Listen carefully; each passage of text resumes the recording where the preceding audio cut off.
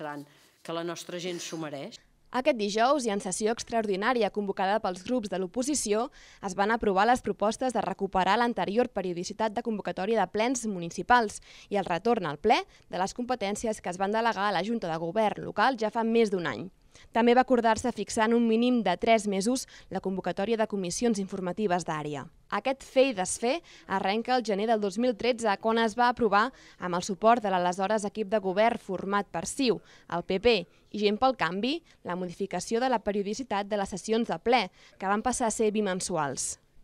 Aquesta aprovació va ser polèmica. L'equip de govern en va justificar la reducció per fer estalvis i l'oposició va considerar-ho un atac frontal a la democràcia participativa i una limitació del diàleg ciutadania-govern.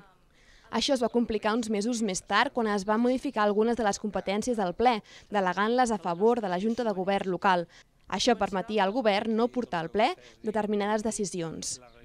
Des del govern es va explicar com una acció per agilitzar la seva feina i des de l'oposició com una argúcia per evitar el control de l'oposició.